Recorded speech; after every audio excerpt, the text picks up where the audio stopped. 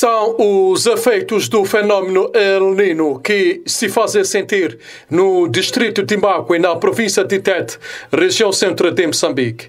E cerca de 500 hectares de culturas diversas estão a secar devido à ausência prolongada da chuva, afetando mais de mil famílias.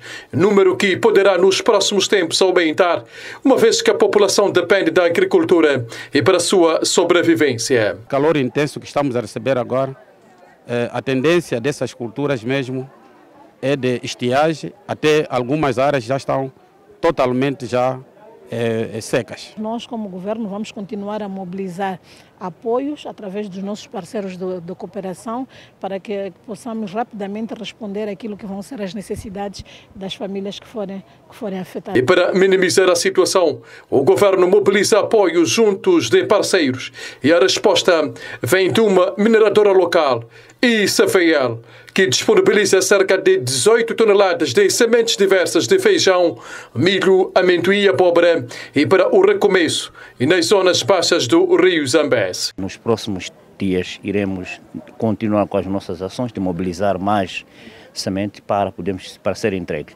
onde será dependendo da indicação que nós vamos receber orientação do governo. Serviços meteorológicos moçambicanos avisaram no ano passado que o país deve preparar-se para a seca nas regiões centro e sul, a par de chuvas acima do normal no norte e com a formação do fenômeno natural El Nino.